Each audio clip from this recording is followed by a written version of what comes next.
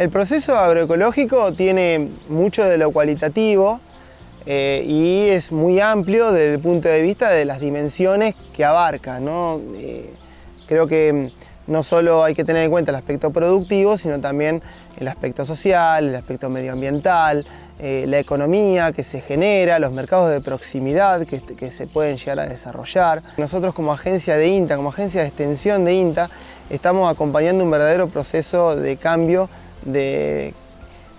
encabezado por el mismo productor. El mismo productor está convencido del cambio eh, que tenía que hacer en su establecimiento. Nosotros lo acompañamos.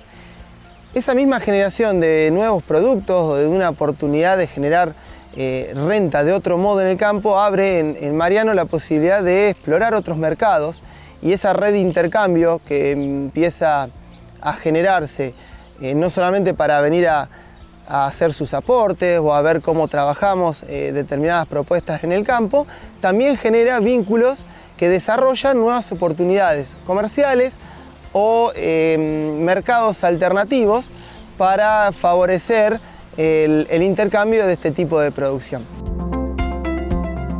En cada de estos lugares lo que tratamos de hacer es que, eh, que se genere como un faro que le llamamos agroecológico, o sea, que sea un lugar donde se puedan probar y experimentar las, experiencias productivas y sumar a gente local que pueda también acompañar estos sitios. Entonces todo eso vamos tratando de reproducir los principios agroecológicos a los sistemas que están eh, en este contexto. Esto precisa una visión y una, y una mirada mucho más presente en el campo. Ver qué está pasando con las especies que pusimos, si están explorando el suelo, si van mejorando la fertilidad.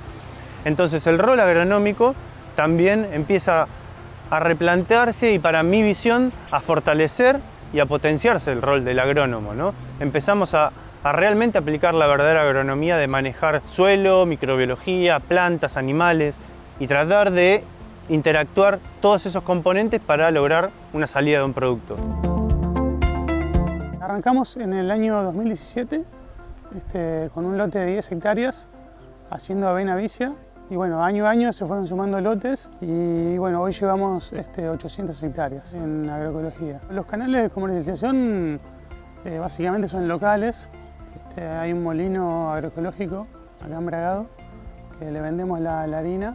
Hay otro en Chivilcoy que también le vendemos la harina de trigo y de centeno agroecológico. Y la carne, este, si bien la vendemos la mayoría local, todavía no, no, logramos hacer un, un plus en el precio. Sí con el trigo y con el centeno. El reconocimiento en, la venta de la carne se da en el, rinde, en el rinde de la media res.